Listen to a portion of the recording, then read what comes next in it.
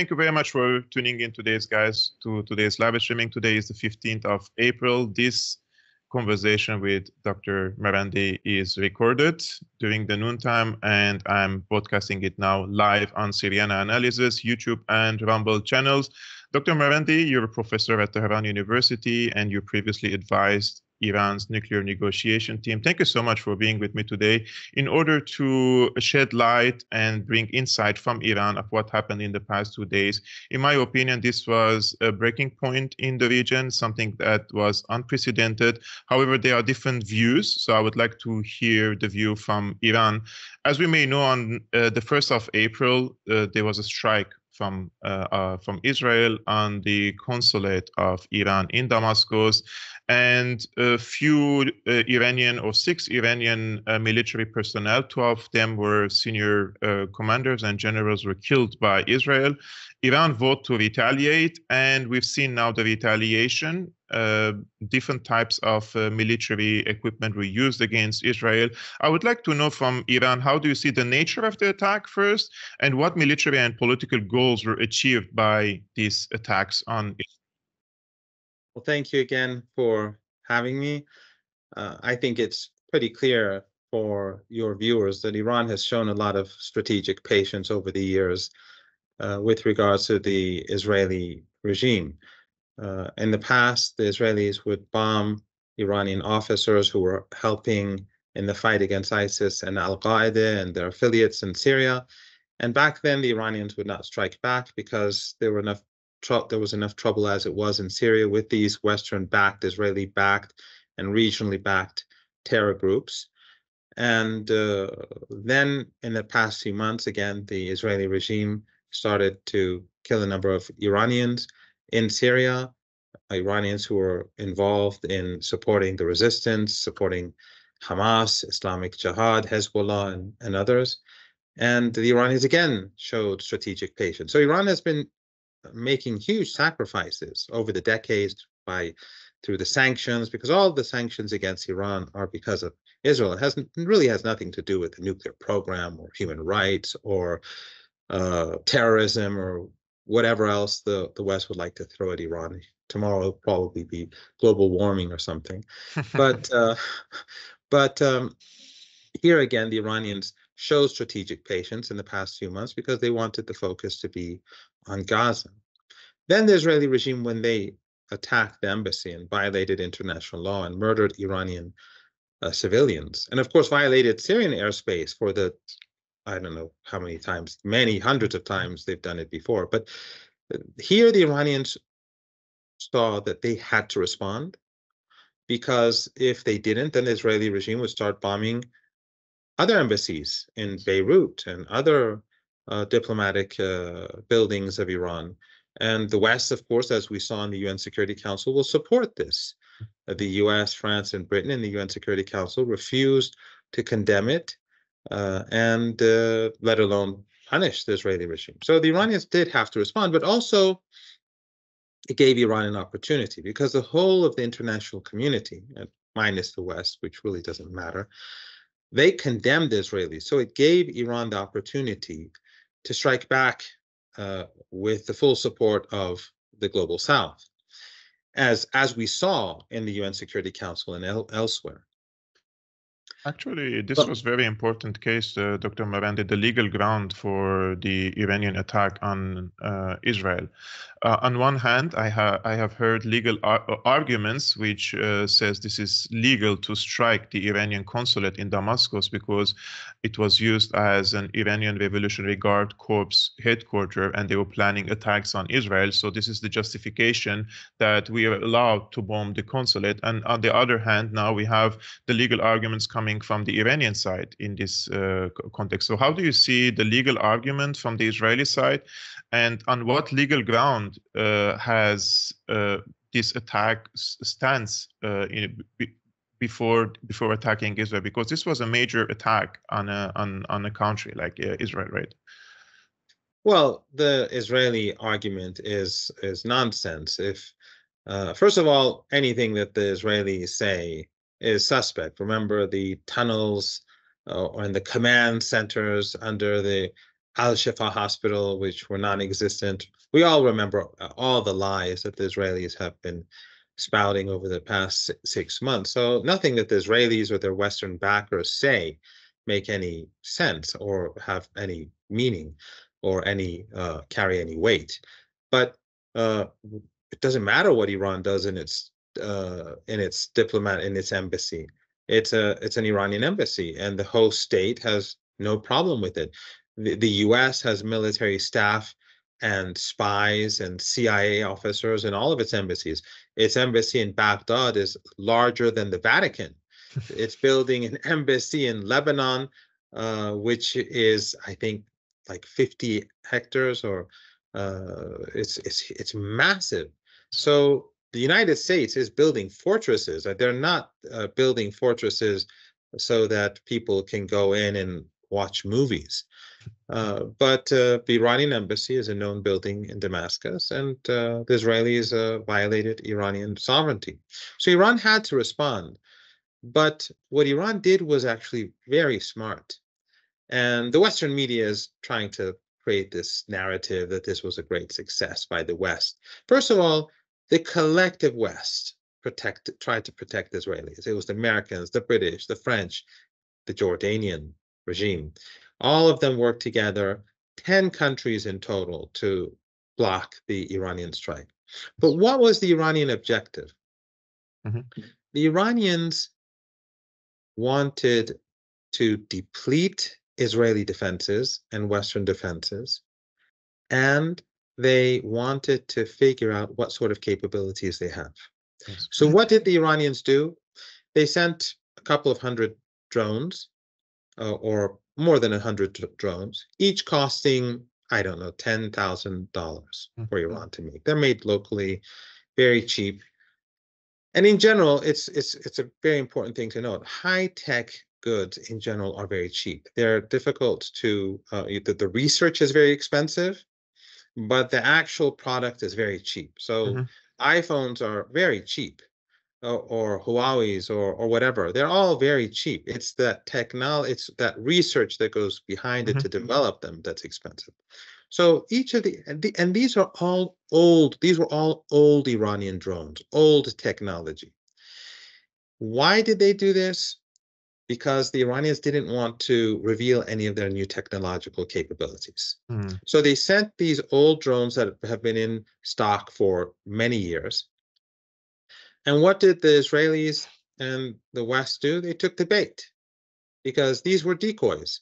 So they went all out and fired all these expensive missiles and all used all their uh, missile defense capabilities, uh, costing at least 1.3 billion dollars, according yes. to their own estimates. And indirect estimates would put it much higher. But the Iranians probably spent couple of million dollars on the drones. Mm. So they gained nothing from Iran. And remember, the Iranians literally announced what they're going to do. Yes. And when they set off the drones, it took two, three hours to get there. The Iranians yes. knew exactly what they're well, what they were doing. In fact, all if the Iranians wanted a swift attack, they could have just launched missiles uh, unexpectedly, and uh, and it would have been a different situation. So the Iranians wanted to engage all the air defense capabilities, deplete them, but also to understand those capabilities, to gain insight hmm. into what the Americans and the Israelis and the others have. Then Iran sent uh, a, a, series of older missiles uh, after the drones reached uh, Palestine. And those older missiles were also, they had no technology that was of any use to the West. And again, um, the collective West engaged in uh, anti aircraft uh, missile defense uh, launches. And um, and again, it revealed their capabilities and uh, their expensive. Uh, they used their expensive missiles and revealed their capabilities against uh, old missiles. So again, the Iranians spent a couple of million dollars there. And uh, then the Iranians use, and I don't know the exact number here, but between 10 and 20 missiles on Mhm. two targets, military targets, unlike the Yes. Israeli regime that targets civilians. They targeted an air base in the south and an intelligence gathering base in the north, which is affiliated to the Air Force, if I'm not mistaken, the Israeli Air Force, with more modern drones, not their top-notch drones Mm. not their uh, the no, sorry missiles Mm. with more modern missiles but not their best missiles not any of their new technology these are still old missiles these missiles got through and we can debate how much damage they caused but the point was that all these air defense capabilities all these missile defense capabilities were engaged uh, and uh, two of the most uh, heavily defended parts of Israel, the air base in the south with F 35s, were hit with a number of missiles, at least seven, uh, according to the photos and the um, uh, the the footage, and a, a number in in the north. So at least, so this from the Iranian perspective was completely successful Yes. because they learned everything about Western defense capabilities. And they sent a message because they got through and hit the most sensitive sites in Israel. And one final point that is also of uh, great significance, and, and that is that these weapons are not only expensive, they're very few in number nowadays Mm. because in Ukraine, the West has been pursuing the same foolish policy. And that is that the Russians would send drones in, and they're very similar to the Iranian drones for some reason. But in any case, they send drones in and missiles in, and the West constantly engages uh, foolishly uh, and strikes these uh, drones and missiles with their expensive air defense missiles and deplete them. And uh, so it's more, much more costly for the West, very good for the Russians, inexpensive, and they don't give out, they don't give too much information. And then, the, and then, like the Israelis, the Ukrainians would always say, "Well, we shot down 99% of uh, all the drones." And but now we see that Ukraine has no electricity in many parts of the country. The infrastructure is destroyed. So we know the truth. So what Iran has done basically is they, they've depleted their defenses, gained the intelligence that they need, and next time round, if there's going to be a strike, the Iranians are not going to send 300 drones. They're going to send or 200 drones. They're going to send thousands of drones Mhm. and they're going to mix them with modern drones and they're going to send large numbers of missiles and they're going to include advanced missiles because they're all going to get through Mm. and so the americans and israelis can can pretend that they scored a victory in public and sort of eh, talk to themselves in this echo chamber but those who know uh, what's going on in the west they know that this is not good news Yes. and nor good policy. The 99% uh, report that a senior Israeli official uh, mentioned, uh, it reminded me of Muhammad Saeed al-Sahaf during the 2003 invasion of Iraq. And despite my complete sympathy with the Iraq, I- I- Iraqi nation back then, but it was stupid propaganda uh, by him when he was standing in the street and, and telling the people that the Americans are committing suicide on the uh, periphery or on the borders of Iraq or on the borders of Baghdad. And this was similar, I would say, not so wise uh, statement from the Israeli uh, senior official to the Israeli press. And since you mentioned that next time there could be a next round, you were on uh, Channel 4 actually, and you said if the Israeli regime wants to continue, Iran will have the excuse to hit it harder and harder. And the question here is, isn't this what Netanyahu wants, like to drag Iran into more escalation or more confrontation with the Israeli side so that the Americans and the Brits intervene this time for a larger regional war since the Netanyahu government is stuck in the Gaza Strip and they're unable to achieve their military goals there. Well, I think another thing that has been exposed by this attack is the sheer reluctance of the Americans to step mm. forward. And this, I think, greatly diminishes Israeli influence and power and American influence and power. We know that the United States is afraid of any conflict with Iran. Remember, back in the day when Iran was much weaker and the United States was at the height of its power in the 1990s after the collapse of the Soviet Union and the stupidity of Saddam Hussein when he went into Kuwait and gave the Americans a, a big win. So uh, after Kuwait and after the collapse of the Soviet Union, the Americans were at the top of the world. They, you know, they spoke of Fukuyama wrote about the end of history, Yes. which is still something that they believe in, even though Fukuyama took, you know, withdrew the, the claim, but still that's basically what they, they're saying in the West uh, among elites. They still believe that. And that's why they're pursuing such foolish policies that are that undermines the West itself. But that's for another day. So uh, he, when uh, the the West um, in well, let me put it this way: the Iranians they have created back then they were very vulnerable, Yes.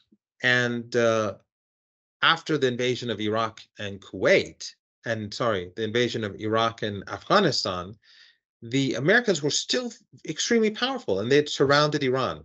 So in the 1990s and in the first decade of uh, The the, the, the yes, the Iranians were very vulnerable, but still the United States never attacked Iranian territory because they knew that Iran was ideologically very different, very uh, highly motivated to to defend against aggression. It's it's very much a part of the religious culture Mhm. in Iran. You know, uh, Karbala, Imam Hussein.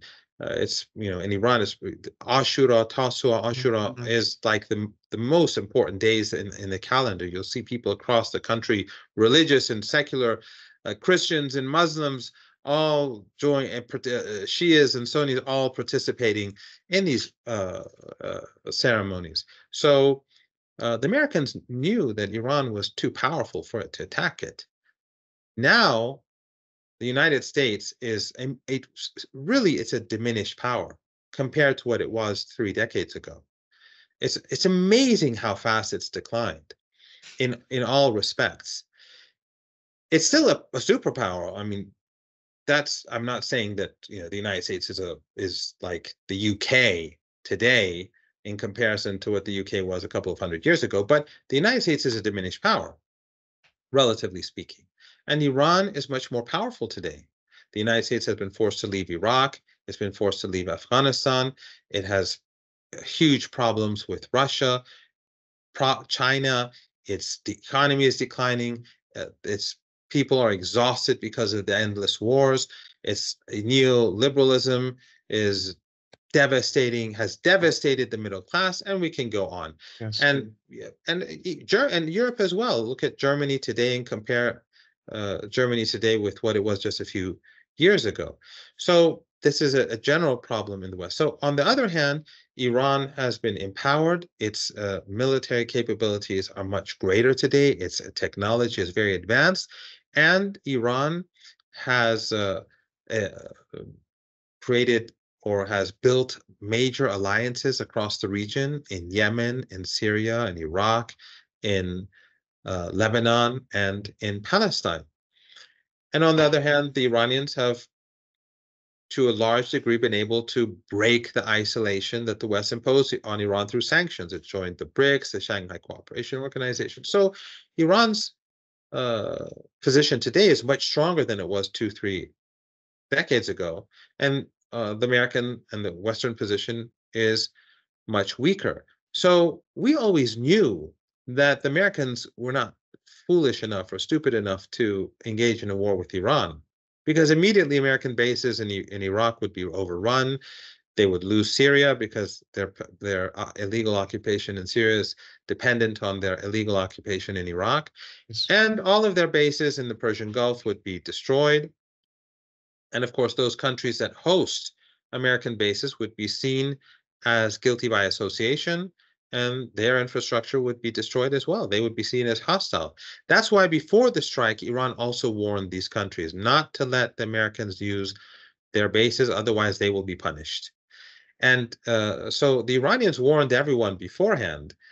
And these countries, these family dictatorships, these regimes, they all recognized during the last few days yes. that the American presence in their country is not really creating security. It's creating a threat. Yes. Because the Americans, if they do something that these regimes don't want, these regimes can pay the price. Yes. And then ultimately, we saw that these different countries told the Americas that they can't use their bases, which also limits them, uh, diminishes the American prestige and role in, in the region.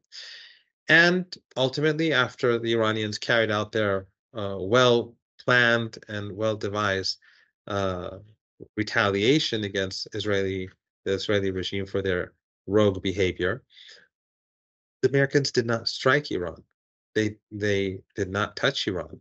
And I think that for many ordinary Iranians who are less politically aware of what we what I've just explained, they understood that Iran is much more powerful than they mm-hmm. thought, and that the United States is much more vulnerable than it claims to be. So this ev- event has also diminished the United States because people in th- these family dictatorships in the region, which rely on the West, until now, they've been saying, well, the United States will protect my family and my my hold over this country. But now when they look and they say, well, the Iranians attacked Israel and the Americans did nothing, we are nothing for the Americans, for the American elites compared to Israel. So obviously they're not going to do anything for us either. So I think there's, uh, you know, this is just a condition, uh, a continuation uh, of the decline of American power in the region and the decline of those entities that depend on the Americans. And one thing that I should add here, which is a bit, um, uh, let's say, it's a, it's not directly impacted by this. The West constantly says that you know our, Arabs want to reconcile with Israel, or Arabs want to build a new relationship with Israel, and the Israelis have been saying we have to work together with a with a moderate Arabs to create a coalition against the Iranian threat. The, again, this is um, this is something that the West is um, is delusional about. Arabs hate Israel just because a few corrupt dictators that they've imposed, you know, the sort that always get 99% of the vote, mm-hmm. like the 99% of the drones that were down. uh, these people do not reflect our public opinion. When Jordan allows the Americans and the Israelis to to use their airspace to strike the Iranian drones, which was expected by Iran, the Iranians allowed that to happen yes. because it undermines the Jordanian regime because it's seen as complicit. This is something that the West refuses to understand because they they live in an echo chamber. They talk to themselves and convince themselves about all their great victories, their great victory against uh, Russia, their great victory against Iran, their great victory against uh, China, their great. They're always having these great victories in Iraq and Afghanistan and Libya. Everywhere we see Western victories, but for some reason, when we add all these up, the West is falling down a cliff yes. and the global south is on the rise you know um, if you if we go back a little bit in history and we see all empires have expanded and they have committed the same mistakes over and over again and the problem with the americans is that since the fall of the soviet union um, they couldn't preserve their peak of dominance for quite a long time there were some empires who were able when they reached to the peak of power they they were able to stay there for a hundred year or more. But Good the American yeah, but the Americans, what they did basically, the elites in the United States, um, they overstretched around the world. They have 800 military bases. The expenditure is very high, but uh, when you are an empire and you expand, you want to harvest the fruits of this, right? While you're expanding at the end of the day, whether directly or indirectly, to harvest the benefits. But when you harvest the benefits for the interests of your own people, so your people are living in welfare and your people are getting the benefits of uh, living in an in, in an empire, then of course the people would support the government. But in the case of the United States, it's very divided society nowadays, and the people can see through that all this expenditure on the military is coming back recycled to the pockets of these few people who are in power in the United States. And also in the United States, there was this attempt to uh, spread wokeism, right? Social justice. We have to bring justice, uh, historical justice, uh, black and white lines, dividing the people on different lines. But this was a more a divide and conquer strategy from the United States elites against its own people. But this has backfired now during the Palestine conflict. That the most of the woke people that they wanted to control them now they see that this is also about social justice. This is also about historical justice for the Palestinian people and it just exploded to their faces. Now they have a younger generation which hasn't lived the Iraq war or the Afghanistan war. They don't have the memory like we do but they still can see through what's happening in the world. And that's why they want to ban TikTok. They want to now suppress these social media platforms. So I would argue that politically speaking, the United States, yes, it, the, the power is shrinking, but also the support of the people for the activities of the government is also shrinking. And this is very dangerous for them. Now that Tucker Carlson, for example, he hosted this Christian uh, priest, pastor from Bethlehem, this is like you are breaking the bone in the United States because uh, one of the main pillars of the American people's support to Israel, it stands on this evangelical, uh, uh, Christian evangelical Zionist support to Israel. And when you have increasing number of people, call them whatever you want, uh, call uh, Tucker Carlson or other uh, big personalities in, in, in, in the United States, they're actually fastening in my opinion, uh, this process of the United States becoming uh, staying as a superpower, but not uh, uh be, be, not stay as a dominant power around the world. Now, uh, the Russians and the Chinese, in my opinion, because uh, the Iranians they have discussed this extensively before the strikes with the Chinese and with the with the Russians, and the Russians came in defense of the um, the Iranians in the UN Security Council, and the special envoy said what happened on the night of April 14 didn't happen in a vacuum. Iran's steps were a response to the shameful inaction of the UN Security Council and a response to Israel's blatant attack on Damascus. By no means the first. Syria is constantly being bombed by Israel.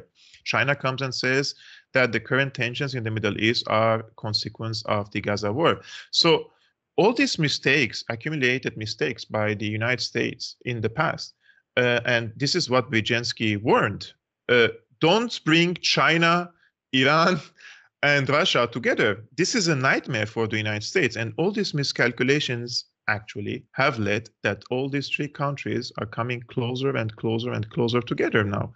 And and if if these countries strike strategic partnership and alliances, those are the three pillars of Eurasia this will be the end of the American uh, supremacy uh, over the world, don't you think? I, I agree. I, I would add a couple of things.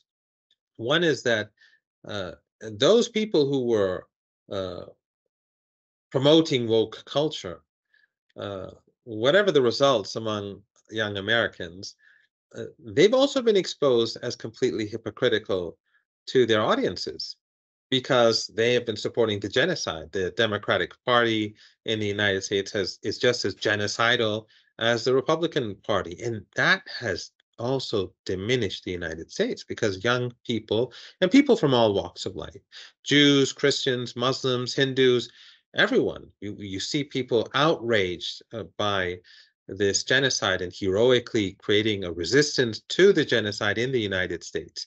So these people have also been exposed as being racist and hypocritical, despite the fact that they speak of wokeness and all that. And then on the other hand, uh, you you you're absolutely correct. On the right, you see people like Tucker Carlson, but also the uh, guy from Infowars. Yes, uh, I forgot his name, but I know. yeah, and then Joe Rogan and yeah, Candace Owens, yeah. all of them breaking away from this narrative. So on the left and on the right of U.S. politics, these two political parties, or the Uniparty, which are two factions of the same party, the Republicans and the Democrats, they are being hammered. And Israel is being exposed in the United States for what it is. So the United States has not only diminished itself, its soft power across the world and the West because of its supporting the genocide, the ongoing genocide in Gaza, they've they've destroyed their military capacity through their foolish war in Ukraine and their endless wars across the region. And they've diminished their economic power because of their neo uh, liberal policies because of again their endless wars because of the fact that they sanctioned so many different countries they've isolated themselves. And again germany where where you live is a very good example of of rapid decline and and and and winter uh, the approaching winter for Europe. And then uh, uh, alongside all of this you have the weakening foundations of the political order in the collective West because people, young people, people from all walks of life, people from all ethnic backgrounds and all religious backgrounds are seeing the reality and are becoming increasingly intolerant of the genocidal policies of the West. So now you see in the United States, some of the key opponents of Zionism are Jews. And they are heroically fighting against the machine. Yes. And Christians and Muslims and Hindus and all sorts of people. And it's not yes. just young people, but this is an extraordinary shift. And we see the huge demonstrations in uh, London and other capitals. And we see both with people within the West, but also outside of the West. The more I don't want to go too close to where you live, I don't want to cause you difficulty, but the more the increasing intolerance That's that is true. being showed to, uh, uh, with regards to free speech, criticism of genocide, and uh, again i don't want to expand it shows it shows that the system is nervous and uh, there are many demonstrations here in berlin. Uh, of course you you will not see the footage of these demonstrations because they don't cover it in the mainstream media but rest assured there are thousands and thousands of people every weekend they go to demonstrate uh, against uh, the israeli onslaught and uh, the government is increasingly getting nervous after the Nicaraguan case against uh, against Germany, and the police uh, brutality is also increasing. there are certain measures that they are now uh, adopting, which I I know those are like ABC, uh, like they provoke the people, they touch women, uh, for example, in a way that um, uh, it, it, it looks like it's a physical assault, so that men would intervene. And then when the men intervene, it's a clear cut case for the police to use more uh, brutality because now you touch the police and you're not allowed to touch the police. Or they choose the, uh, the oldest person in the group or the younger person in the group. They know how to provoke the people. And beside that, now we have journalists. I don't know if we have to call them journalists. I call them prostitutes. They're coming with their big cameras there is no logo on the camera and they're protected by uh, security. Uh, we don't know if they're Secret Service or not because they're uh, dressing civil. But why would a journalist come with the security to? Because they they're aiming at something. And what they do basically, they bring the camera, they put it to your face, they're provoking you so that they say. Tonight you're going to be on TV and we're going to call you an anti-Semite. So the people will start to act against the journalists, and then the security intervenes again the bus stations, the train stations are, are closed where the demonstrations are happening. So uh, few people arrive uh, to these places. So many other measures are taking place here, right? Now, this is the last part I want to discuss with you, Dr. And also one, one thing that yeah. I found also interesting, and that is a lot of people are now revisiting even previous policies of the West. So for example, yes. in the case of Syria. Yes, yes. Which is uh, uh, close to your heart now many people understand what really happened in Syria. Yes, so true. Everyone, those people who were trying to undermine the country and were cooperating with the West. And uh, we know, for example, you know, and I'm sure you've discussed this many mm-hmm. times, James Jake Sullivan's email to Hillary Clinton on February the 12th, 2012, mm-hmm. that Al Qaeda is on our side the leaked audio of Kerry saying we allowed ISIS to advance on Damascus, the Defense Intelligence Agency document of 2012 saying that they wanted to establish a Salafist entity that regional countries between Syria and Iraq, and the admission by General Flynn that Obama and the administration uh, supported that, and that was, of course, ISIS. All these back then we kept repeating to people, and there was very little traction. But now people are recognizing that the United States and the West, which carried out this dirty war in Syria with their regional allies, they were doing it in the interest of the Israeli regime. Yeah. And those people who were siding with the West, they were I, I don't want to use uh, they were the useful idiots. Yes, they are. They were. Uh, they were the useful idiots, and they help. And and, ma- and what the objective was was to destroy the resistance, to break the link between Gaza, Lebanon, and uh, its allies in Iran. That was the objective. It was the objective was to destroy the country, to fragment the country, uh, Erdogan could have his part of the country to become the, this Ottoman emperor of sorts. Uh, regional despots could uh, distract attention away from the lack of freedom in their countries by uh, using uh, sectarianism and hatred to destroy Syria, to sort of revive their fortunes because they felt under threat after what had happened in uh, Tunisia and Egypt. It was a counter revolution what they were doing in Syria. So all those actors that today are doing nothing to help the people of Gaza were in on this uh, conspiracy against the Syrian people. All of it was done for the sake of the Israeli regime fundamentally. And now people are seeing the reality. Yeah. Where is it? Where was the embassy, Iranian embassy bombed?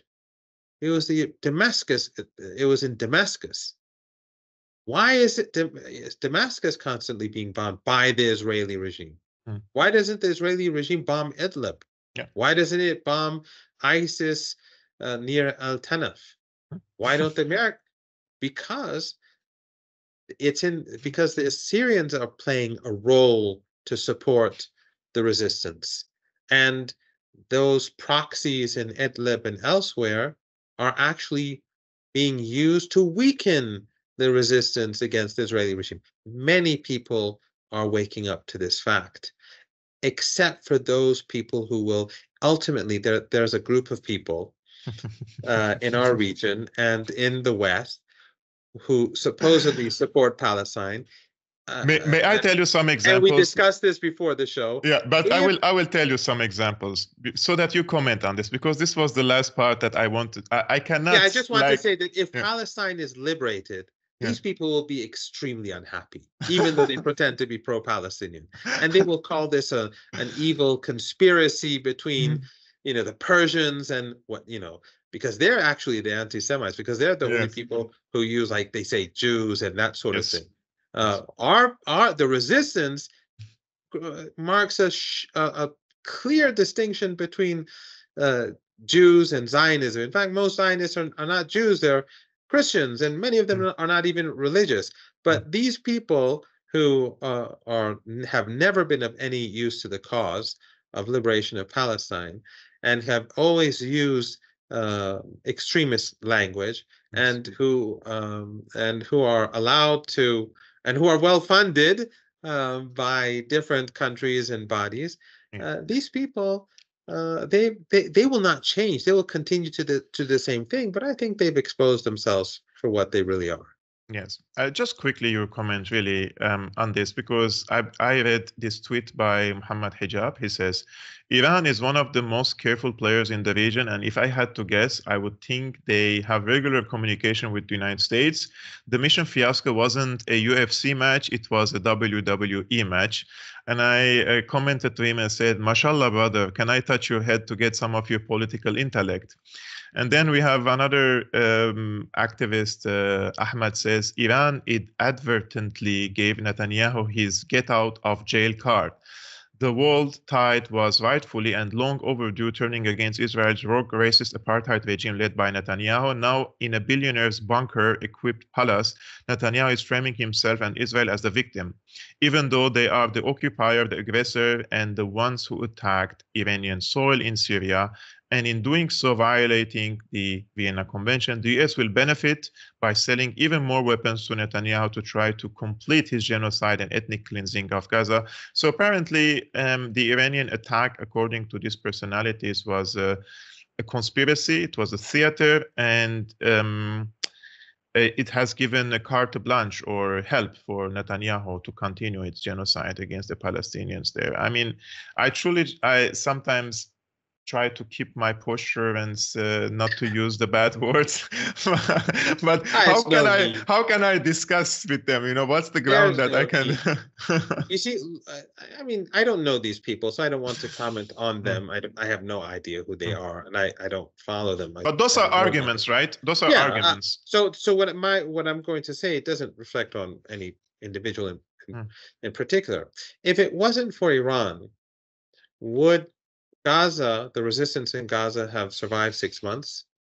All those tunnels, all these capabilities, did they come out of the blue? All of, uh, and even as we speak, new tunnels are being made. New recruits are coming in for Hamas and Islamic Jihad and the others. And new capabilities are being brought into uh, play for the resistance in Gaza. Without the support of Iran would they exist? Without the support of Iran, would the siege on Israeli ports in the Red Sea have succeeded? And also, this is actually another good example. The Americans failed to, to stop the missile striking the ships. They failed completely. Does anyone really believe that after failing in the Red Sea, they've succeeded against the Iranian missiles, which are far more developed than the uh, missiles used in Yemen, the Iranians knew exactly what they were doing. They were diminishing the Israeli regime. They were showing the world, and especially the Israelis, uh, that they are vulnerable. And that for now, and Iran has changed the equation here. Iran has said after its strike that for now on, when the Israeli regime hits Iranians, wherever they may be, Iran will strike back. So for now on, there's a new deterrence. For now on, the Israelis can no longer just go bomb Iranians wherever they want.